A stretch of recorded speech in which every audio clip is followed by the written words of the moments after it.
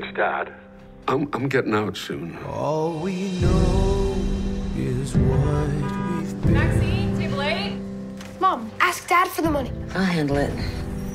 I need money, Tyler.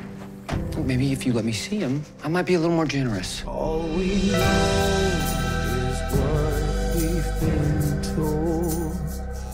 In the time I have left, I would like to spend it with you. I'll do it on one condition. You pay me rent. My God, you're still so beautiful. You're a tenant. That's it.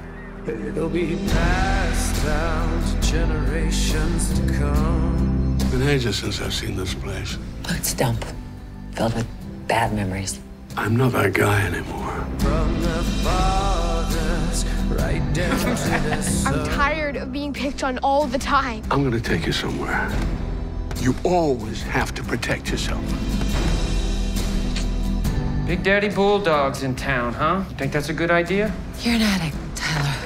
I'm gonna ask you one last time. Or what? Don't come in here now like you're some hero, because you're not.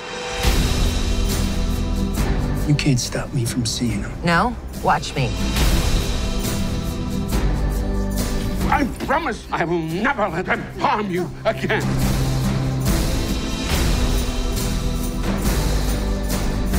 I know none of this will make up for who I was or what I did.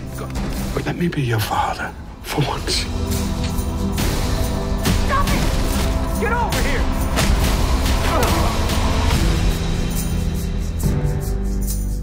Why did you go to jail? Which time? Wait, how many times did you go to prison? More than I care to remember.